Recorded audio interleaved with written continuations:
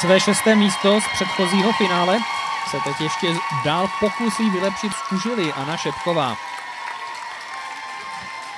Mimochodem, tím, že bude končit svou kariéru, tak to neznamená, že příjmení Šepková zmizí z české moderní gymnastiky. Už se zapojila a docela slibně do soutěží i mladší sestra Natálie. Uvidíme, zda to dotáhne podobně nebo třeba ještě výš.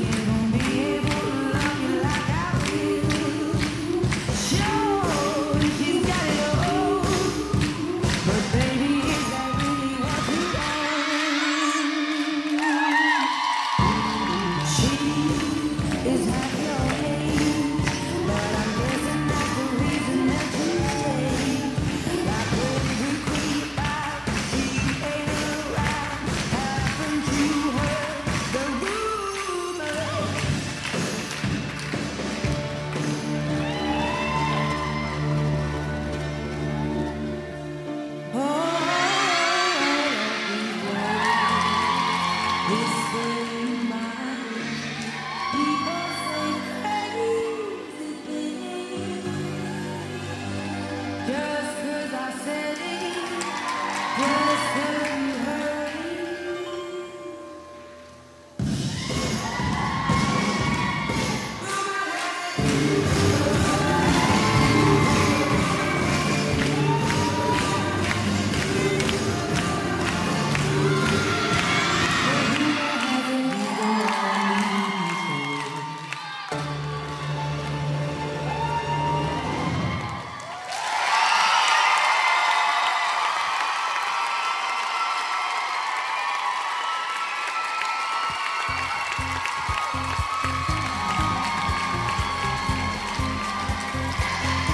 Tak já myslím, že je v tom vidět eh, to, že Anička se eh, loučí, dala do toho vše, eh, snažila se soustředit, ale přece jenom už ní to třeba tolik nešlo, ale viděli jsme povedenou sestavu, bez chyby, bez viditelného nějakého velkého výpadku.